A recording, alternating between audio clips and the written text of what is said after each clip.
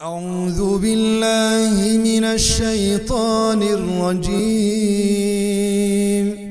بسم الله الرحمن الرحيم.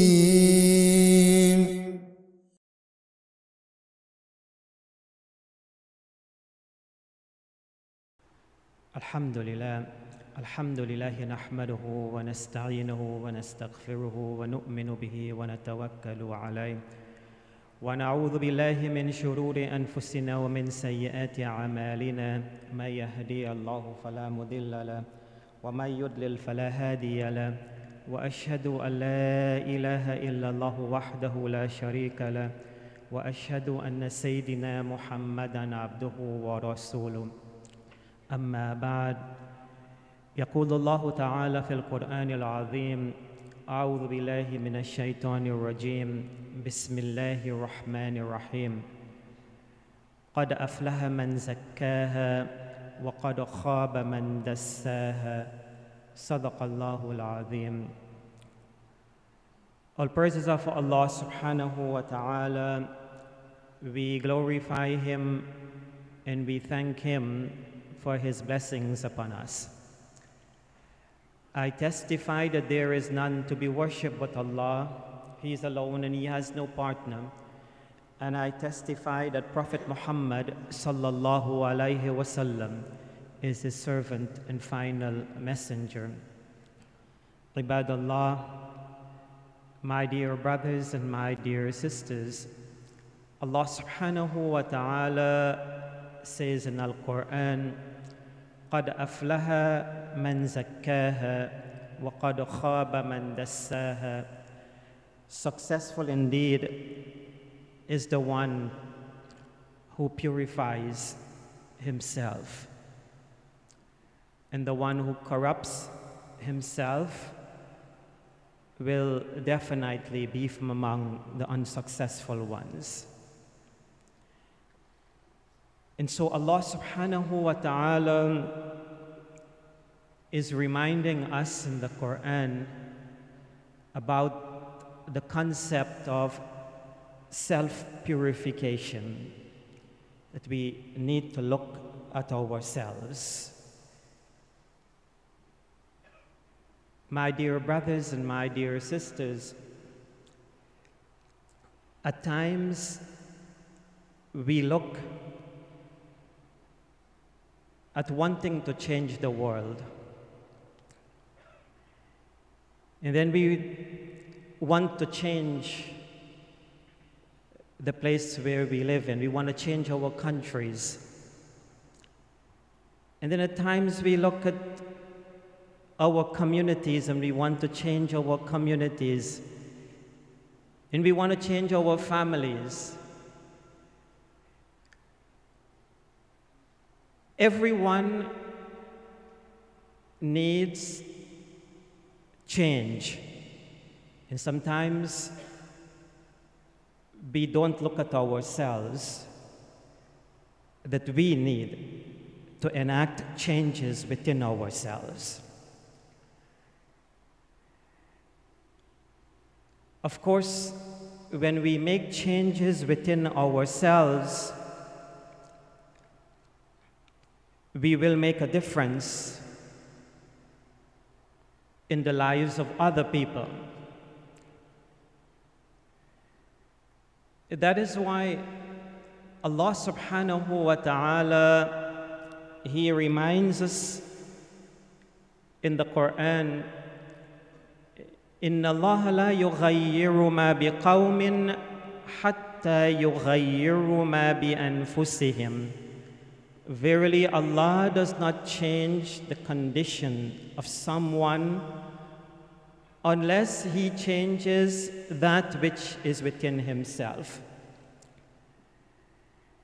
And so it's important, my dear brothers and my dear sisters, that changes come within us. You look at countries today and you look at communities today and you see that people move into different positions. We have presidents changing every four years. In our communities, sometimes we have people changing every two years or three years. But what does that change do? What is it that it really does for people? The people who have assumed the power or moved into those different uh, positions, it has really become status for them. And if there is no change within them, then it doesn't matter who moves into the position, it wouldn't make a difference. And so, today, my dear brothers and my dear sisters, let us look at ourselves. Let us look at what changes we need to make within ourselves. إن الله لا يغير ما بقوم حتى يغيروا ما بأنفسهم. Verily, Allah does not change the condition of a people. Allah does not change the condition of someone unless that person changes that which is within himself or herself. We need to look at what standards we set for ourselves. If we don't have set goals and standards, then we will remain where we are. And there are times when we will slip farther away from where we are in terms of deteriorating.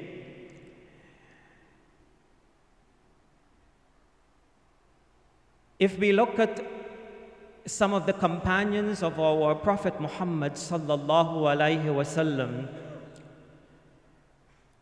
they had goals and objectives.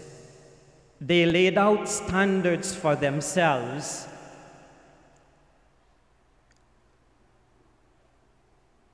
Some of them, they looked at uh, how can I benefit my family, myself, and how can I benefit community?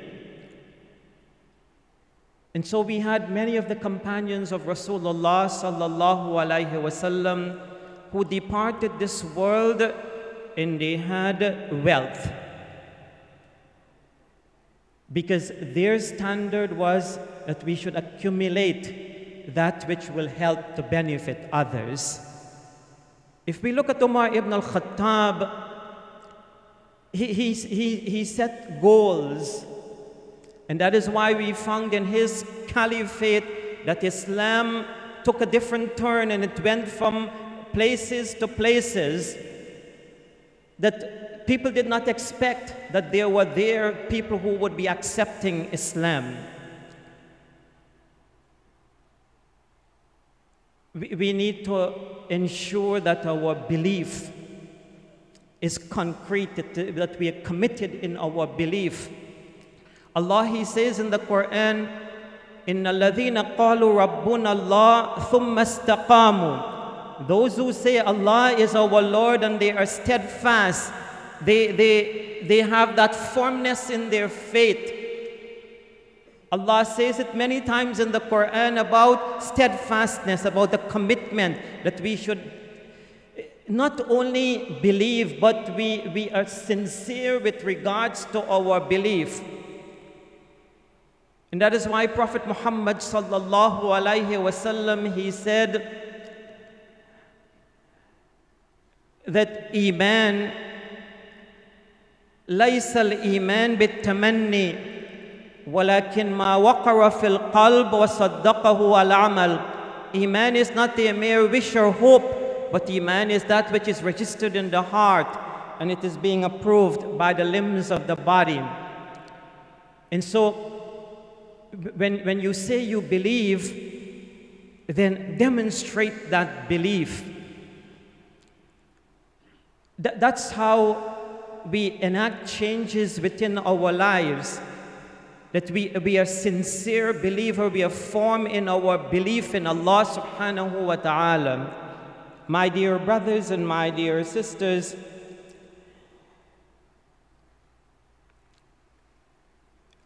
quite often it is the other person who is wrong. It is the other person who has faults, and it's never us.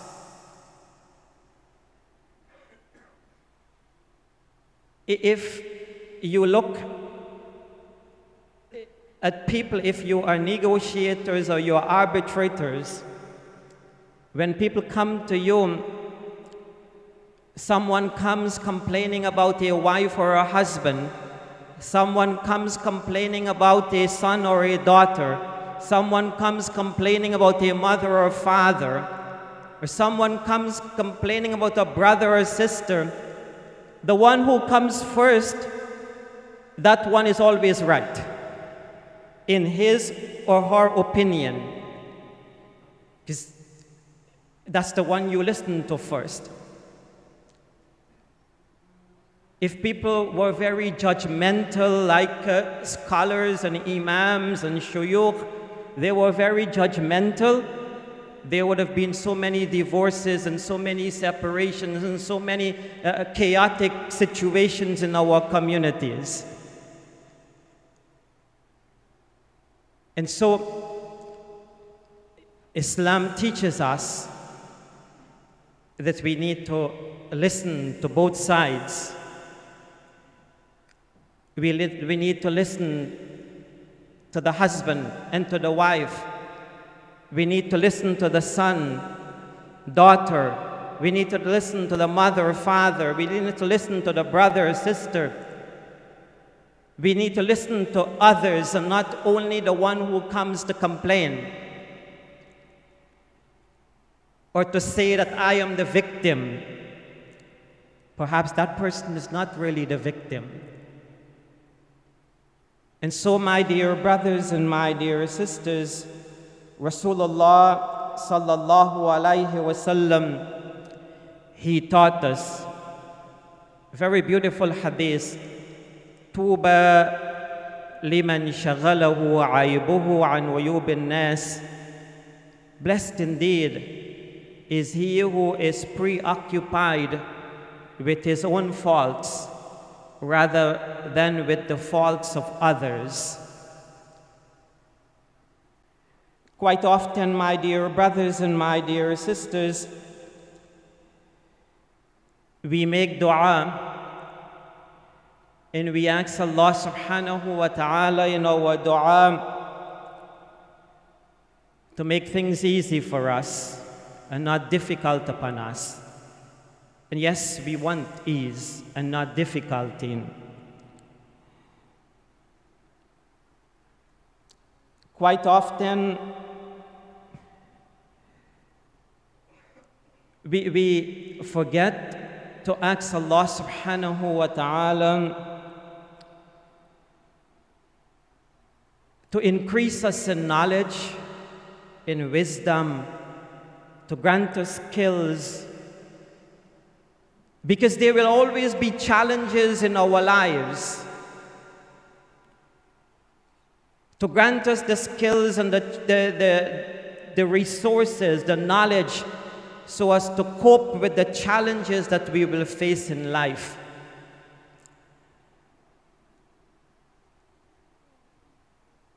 Quite often, husbands look at wives, you're not spending enough time with me. Or wives, you're not spending enough time with me. Sometimes we need to make dua and ask Allah subhanahu wa ta'ala to show me the way for my husband or my wife to want to spend time with me. Quite often, my dear brothers and my dear sisters,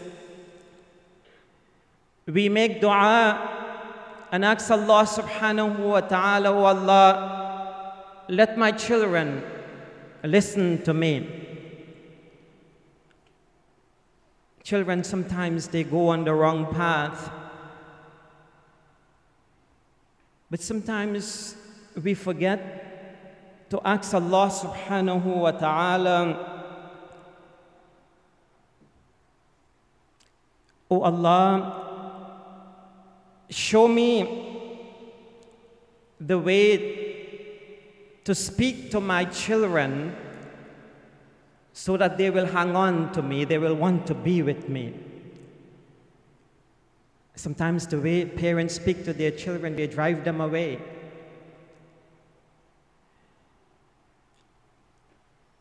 Allah subhanahu wa ta'ala, He tells us in Al Quran, واذا سالك عبادي عني فاني قريب اجيب دعوه الداعي اذا دعان allah subhanahu wa ta'ala says and when my servant asks you concerning me tell them that i am near. I answered the prayer of every supplicant as he calls upon me.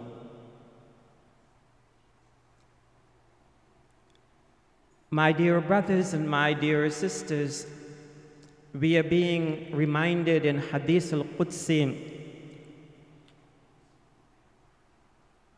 that when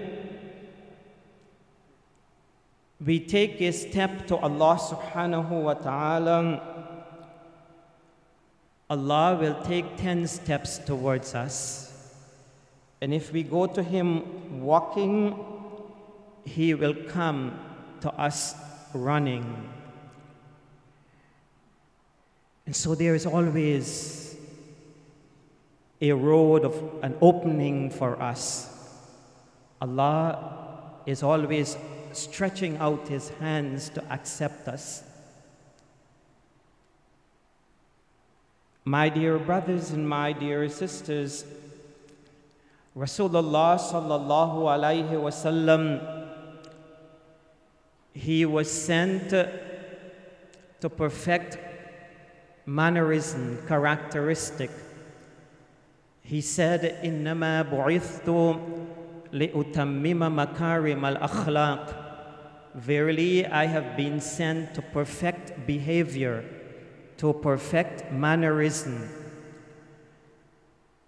And so let us use Rasulullah sallallahu alayhi wasallam as our role model. لقد كان لكم في رسول الله أسوة حسنة Verily, in the messenger of Allah is a perfect example for you. Let us use him as our role model and try to perfect our own behavior, our own mannerism. Let us make sure that what we want to see in others, we see it within ourselves. We, we ask people to be kind. We ask people to be loving. We ask people to be compassionate. We ask people to be charitable. We ask people to be honest, tolerant, forgiving, let us look deep into ourselves. Are we tolerant? Are we forgiving? Are we kind? Are we charitable? Are we compassionate? Are we loving? And it's not loving just only to our immediate or charitable to those whom we know. But when we speak about these qualities that Rasulullah sallallahu alaihi wasallam he came to perfect, how does it apply it to us? In the general sense, do we look out for everyone? Do we love for everyone that which we love for ourselves? The standard that we ought to live by لا يؤمن أحدكم حتى يحب لأخيه ما يحب لنفسه None of you is a true believer until and unless he loves for his brother that which he loves for himself. My dear brothers and my dear sisters, there is an Arab proverb that says, The one who lacks something cannot give it to others. The one who lacks something cannot give it to others. Don't tell people how they should behave when we ourselves are not behaving well. My dear brothers and my dear sisters, sometimes we look at what, uh, and we ask ourselves, what is it that Allah has prepared for me? According to the Salaf, we should ask ourselves, what is it that we have prepared for Allah? We will meet with Allah. What is it that we have prepared for that meeting? Allah subhanahu wa ta'ala, He says in Al Quran, يا أيها الذين آمنوا اتقوا الله ولتنظر نفس ما قدمت لغد O you who believe, fear Allah and look to what you are preparing for the morrow. Look at what preparation you are making for when you will meet with Allah subhanahu wa ta'ala. So it's not that Allah has prepared Jannah for the believers. It is not that Allah has such wonderful things for those who believe, those who fear Allah, those who are dutiful unto Allah subhanahu wa ta'ala. What is it that we as individuals are preparing for when we meet with Allah subhanahu wa ta'ala?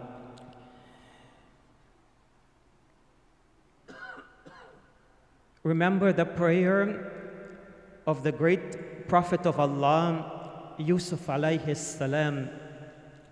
He prayed to Allah subhanahu wa ta'ala and he said, Tawaffani muslima wa alhiqni bis salihin. Cause me to die submissive. Cause me to die obedient. Cause me to die as a true Muslim. And join me with the pious, the righteous ones. Ibrahim alayhi salam, he prayed to Allah, Rabbi jalni muqim as-salah he, he, talked about himself. He prayed for himself.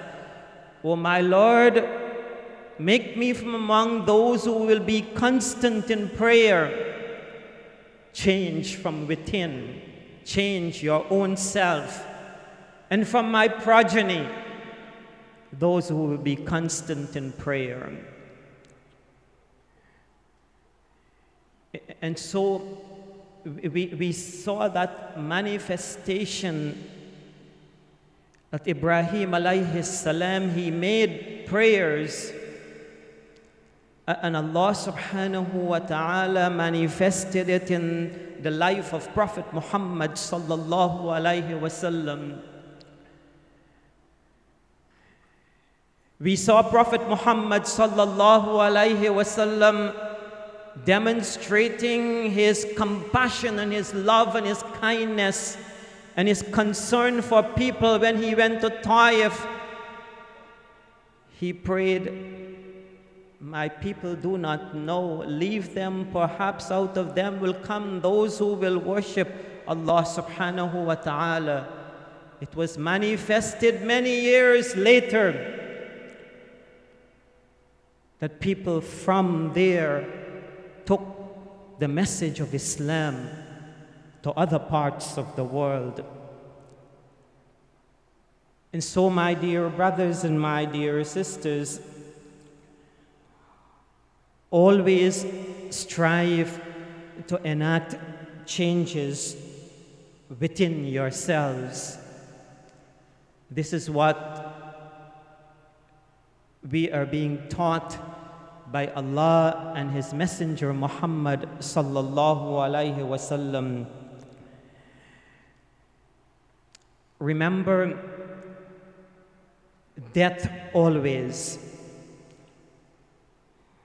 And remember the saying of our Prophet Muhammad sallallahu alaihi wasallam every soul or every slave will be resurrected upon that which he died.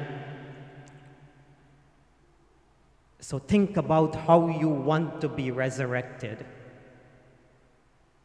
It's not about changing the world. It's not about changing the country. It's not about only changing the community and your family, but it's about changing our own selves. How is it that we want to meet with Allah subhanahu wa ta'ala? How is it that we want to be resurrected? My dear brothers and my dear sisters, we are being reminded in the Quran about struggles and struggles to make changes within our lives. And what happens when we make those struggles? Allah says in the Quran, وَالَّذِينَ جَاهَدُوا فِينَا لَنَهْدِيَنَّهُمْ سُبُلَنَا وَإِنَّ اللَّهَ مَعَ الْمُحْسِنِينَ And those who strive in our way, those who strive in the way of Allah subhanahu wa ta'ala, لَنَهْدِيَنَّهُمْ سُبُلَنَا Allah subhanahu wa ta'ala, He says, we will guide them to our path. And Allah subhanahu wa ta'ala says also, وَإِنَّ اللَّهَ لَمَعَ الْمُحْسِنِينَ And verily Allah is with the ones who do good. And so, my dear brothers and my dear sisters, let us focus on ourselves. Let us focus on our mistakes. Let us focus on whatever we may be doing wrong. Let us focus on making changes within ourselves. And inshallah, we hope that by making changes within ourselves, that we will be able to make a difference in the lives of others. May Allah subhanahu wa ta'ala give us good in this life and good in the life hereafter. And may He save us from the torment of hellfire. أقول قولي هذا واستغفر الله لي ولكم ولسائر المؤمن المؤمنات من كل ذنب فاستغفروه إنه هو الغفور الرحيم.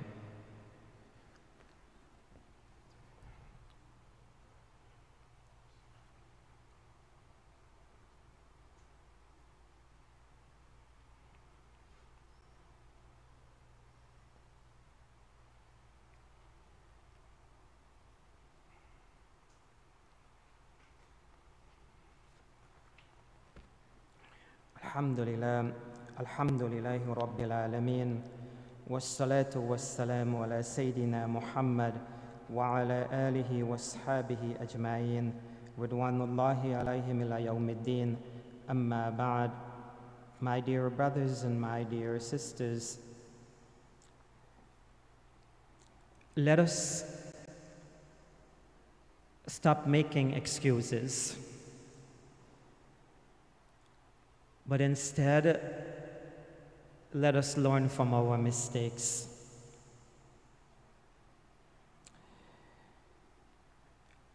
Let us always have that willpower to make changes.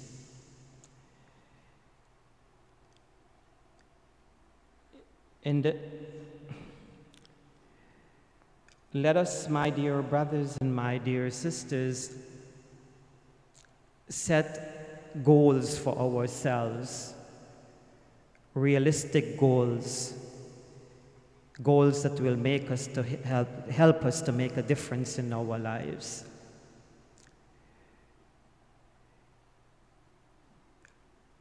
I want to encourage you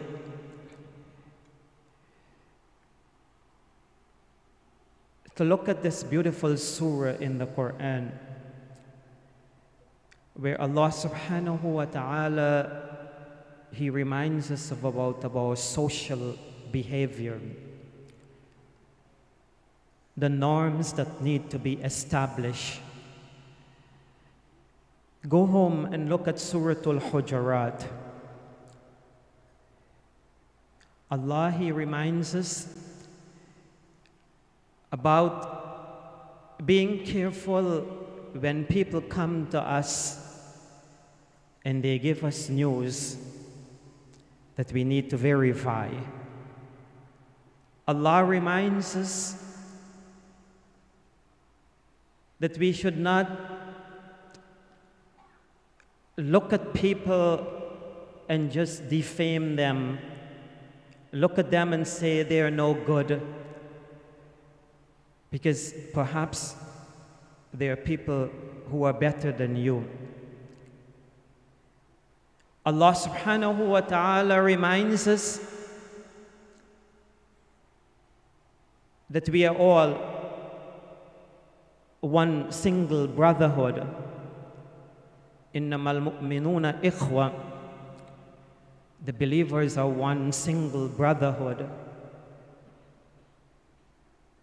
So don't just look at the faults of people, try to bring them together. Make peace between your two contending brothers.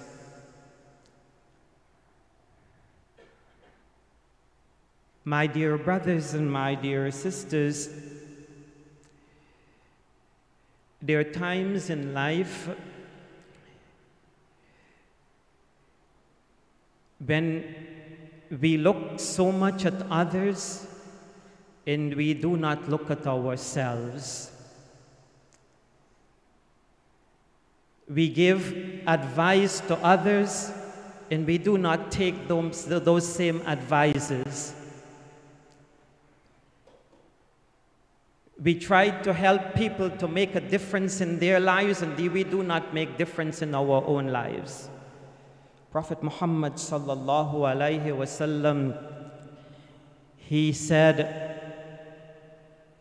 the example of the scholar who teaches the people good things but forgets himself is that of a lantern. It gives light to the people but burns itself out. Example of a lantern. A lantern sheds light. It eventually will burn out. So we need to be careful. You know, there's something when you do chaplain courses, they teach you about compassion fatigue.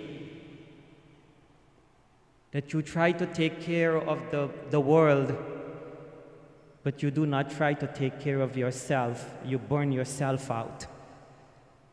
And at the end, you see that you haven't done, you, you haven't elevated, you haven't moved from where you were.